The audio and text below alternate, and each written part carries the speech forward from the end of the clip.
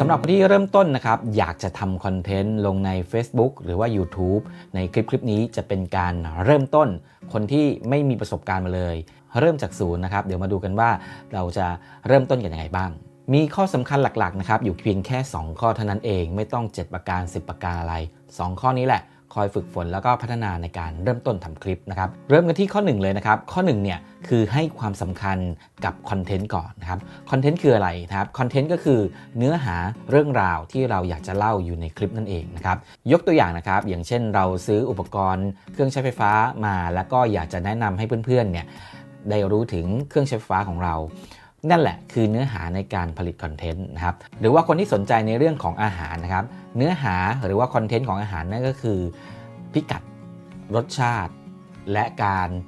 อื่นๆอีกมากมาย ตามที่เราอยากจะนำเสนอ เพราะฉะนั้นเนื้อหาจะเป็นสิ่งเริ่มต้นในการคิดและก็ทำผลิตคอนเทนต์ข้อ2นะครับข้อ2ก็จะเป็นเรื่องของอุปกรณ์นะครับอุปกรณ์ แต่ว่าไม่อยากจะเอาอุปกรณ์เนี้ย ไปงมจมอยู่กับอุปกรณ์ ไม่งั้นเราจะไม่สามารถผลิตคอนเทนต์ได้นะครับสำหรับอุปกรณ์เนี่ยจะมีอยู่ 3 ข้อย่อยๆ ก็คือเรื่องของ ภาพนะครับเรื่องของภาพก็คืออุปกรณ์ในการถ่ายนะครับเริ่มต้นจากสิ่งที่มีอยู่ใกล้ตัวก่อนนะครับอย่างเช่นสมาร์ทโฟนนะครับสมาร์ทโฟนเครื่องเดียวก็สามารถทำคอนเทนต์ได้ เราจะเห็นว่าบล็อกเกอร์หรือว่ายูทูบเบอร์ทั่วๆไปเนี่ยเริ่มต้นจากสมาร์ทโฟนกันทั้งนั้นนะครับเนื่องจากว่าสมาร์ทโฟนเนี่ยเป็นอุปกรณ์ที่ใกล้ตัวสามารถหยิบใช้ แล้วก็เอามาทำคอนเทนต์ได้อย่างง่ายดายและรวดเร็ว ไม่จำเป็นจะต้องใช้อุปกรณ์กล้องใหญ่กล้องแพง แต่ว่าถ้าเกิดคนที่มีกล้องมีกล้องคอมแพคมีกล้องมิเรอร์เลสอยู่ที่บ้านแล้วก็สามารถนำมาใช้ในการผลิตคอนเทนต์เริ่มต้นได้เลย เราให้ความสำคัญกับภาพไปแล้วนะครับ ส่วนที่ 2 ก็คือเรื่องของแสงสว่างครับคนที่เริ่มต้นครับเริ่มต้นทำคอนเทนต์ยังไม่จำเป็นที่จะต้องซื้อไฟแพงๆ มาโหมกระหน่ำอยู่ในห้องนอนเราอยู่ในบ้านของเรานะครับ แสงสว่างแรกที่ง่ายและก็ฟรีเลยก็คือเรื่องของแสงสว่างจากดวงอาทิตย์ ง่ายสุดเลยนะครับ ก็คือนั่งอยู่ริมระเบียงบ้านนะครับอยู่ชั้น 2 อยู่คอนโดก็นั่งอยู่ริมหน้าต่าง แสงสว่างพวกนี้เนี่ยจะช่วยให้ภาพเราเนี่ยดูมีมิติขึ้น มีแสงสว่างที่เพียงพอในการทำผลิตคอนเทนต์นะครับ หรือว่าต้องการที่จะไฟดวงเล็กๆเนี่ยเราหาโคมไฟเราเปิดไฟในบ้านทุกดวงให้สว่างก่อน เพียงแค่นี้เนี่ยแสงสว่างก็เพียงพอในการผลิตคอนเทนต์แล้ว สิ่งสำคัญต่อมานะครับคือเรื่องของเสียงนะครับเรื่องของเสียงเนี่ยก็คือเสียงที่เราพูดใส่ไปในคลิปนะครับมีหลากหลายวิธีนะครับในการเลือกใช้เสียงลงไปในคลิป หรือว่าลงไปในคอนเทนต์เดี๋ยวจะมาอธิบายกันต่อใน EP ต่อๆไปนะครับแต่เรื่องของเสียงในเริ่มต้นเลยเนี่ยก็คือเราพูดเสียง เข้าไปในกล้องเข้าไปในสมาร์ทโฟนได้เลย แต่ว่าเสียงที่เราพูดเข้าไปในสมาร์ทโฟนโดยตรง หรือว่าเข้าไปในกล้องโดยตรงเนี่ยเสียงจะไม่ได้มีคุณภาพมากนะครับ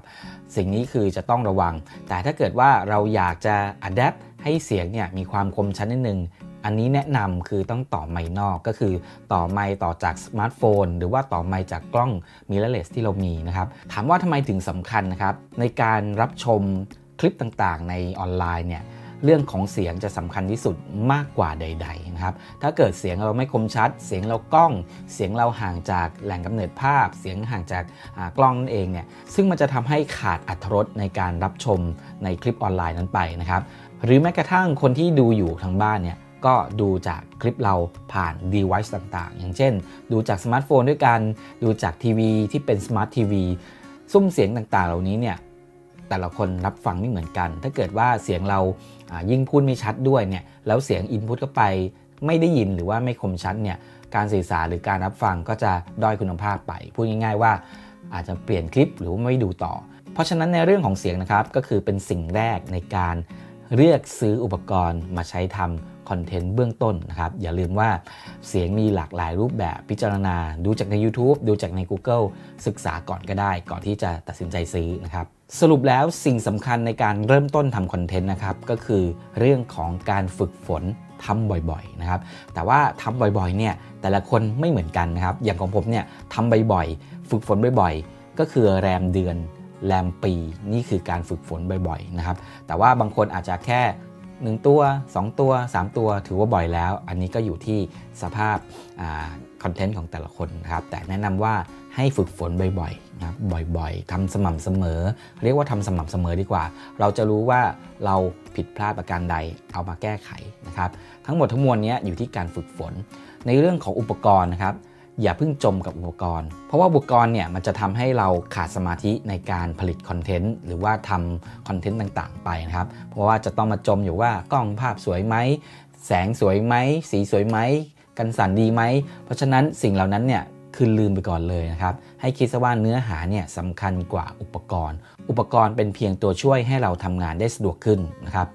ใน EP หน้าเนี่ยเดี๋ยวจะมาดูกันต่อไปนะครับว่าในการเริ่มต้นทำคอนเทนต์แล้วเราต้องพิจารณาอะไรต่อบ้าง